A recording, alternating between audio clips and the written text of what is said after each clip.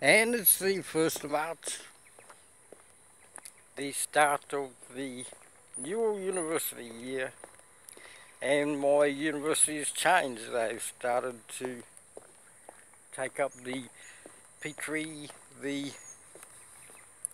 Noosa, there's a Noosa library, there's a, what's that one QUT had? Well, Castle Nine's one now. So they got the Caboolture campus. Which is pretty interesting for an ASIO organisation. Let us...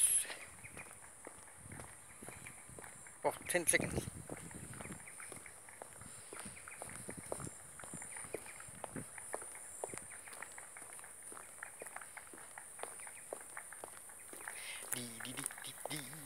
Go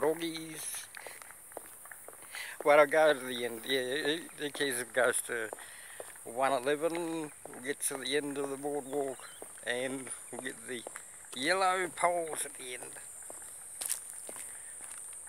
Signalling the end.